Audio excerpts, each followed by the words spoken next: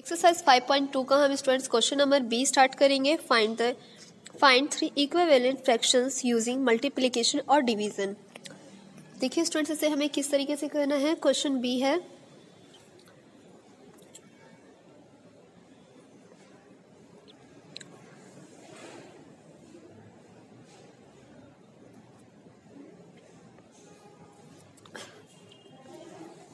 First है आपका.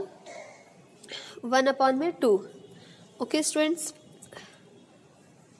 तो इसका आप करेंगे स्टूडेंट्स फ़र्स्ट वन अपॉन में टू को टू अपॉन में टू करके तो टू वन जा टू टू टू जा फोर ओके स्टूडेंट्स ये फ़र्स्ट आ गया आपका.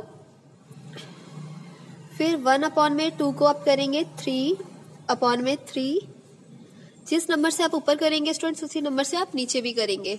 ओके थ्री वन जा थ्री थ्री टू जा सिक्स ये आपका सेकेंड इक्वेलेंट आ गया। और थर्ड वन अपॉन में टू मल्टीप्लाई में फोर अपॉन में फोर वन फोर जा फोर टू फोर जा एट तो स्टूडेंट्स आपके थ्री इक्वेलेंट आपके पास हैं।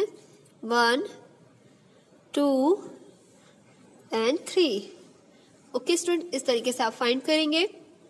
सेकंड है टू अपॉन में थ्री तो टू से करेंगे. नीचे भी टू से. टू टू जा फोर थ्री टू जा सिक्स फिर टू अपॉन में थ्री में हम टू से हमने कर लिया तो थ्री से करेंगे. टू थ्री जा सिक्स थ्री थ्री जा नाइन